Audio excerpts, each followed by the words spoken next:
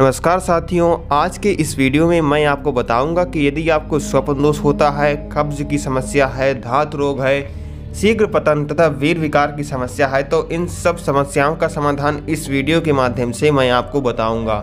क्योंकि आज मैं आपको एक ऐसे योगासन के बारे में बताऊँगा जो हर एक ब्रह्मचर्य व्रत धारण करने वाले व्यक्ति को करना चाहिए।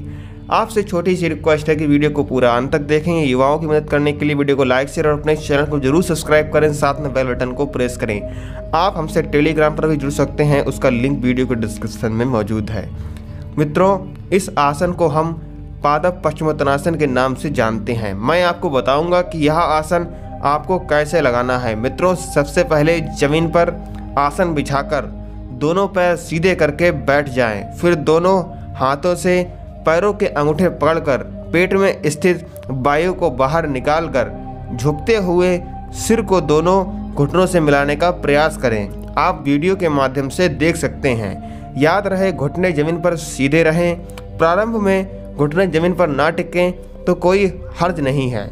सतत अभ्यास से यह आसन धीरे धीरे सिद्ध हो जाएगा।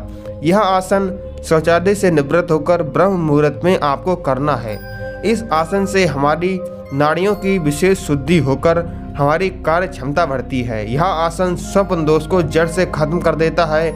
बस आप अपनी इंद्रियों पर काबू रखें। इस आसन को प्रारंभ में आधा मिनट से शुरू करके प्रतिदिन थोड़ा समय बढ़ाते हुए पंद्रह मिनट तक आप इसे कर सकते हैं। पहले हमें दो से तीन दिन तकलीफ़ होती है। फिर यह आसन सरल हो जाता है। इस आसन से शरीर का कद लंबा होता है, यदि शरीर में मोटापा है तो वह दूर होता है। यदि शरीर आपका दुबला पतला है तो इस आसन को करने से शरीर तंदुरुस्त बन जाता है तथा व्यक्ति के अंदर सभी वीर विकार नष्ट हो जाते हैं। ब्रह्मचर्य पालन करने वाले हर व्यक्ति को यह आसन नित्य ब्रह्म मुहूर्त में करना चाहिए।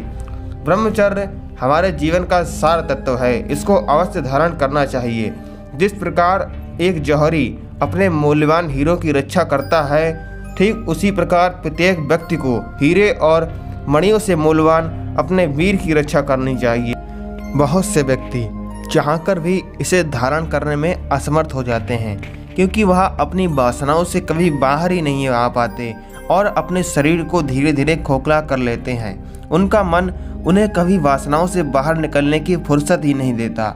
और जीवन भर व्यक्ति को अपना गुलाम बनाकर रखता है। लेकिन जब हम योग साधनाओं को, योग प्राणायाम, व्यायाम को अपने जीवन में जब धारण करते हैं, तब हम मन को सही मार्ग पे आसानी से ले आते हैं। लेकिन जब तक मन में वैराग्य नहीं आएगा, तब तक इसे पूरी तरह से अधीन करना असंभव है।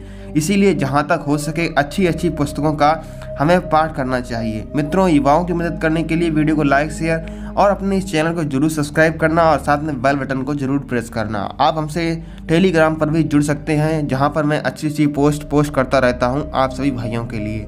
उसका लिंक वीडियो के डिस्क्रिप्शन में मौजूद है। ओम नमः शिवाय।